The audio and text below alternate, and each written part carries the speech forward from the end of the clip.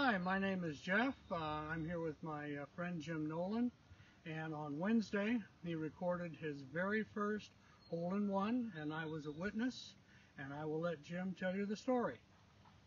This is the uh, 11th hole here at Cedars, about 110 yards to the flag, and uh, I got these Wedgewood hybrid irons on Tuesday afternoon in the mail. I unwrapped them and put them in my bag.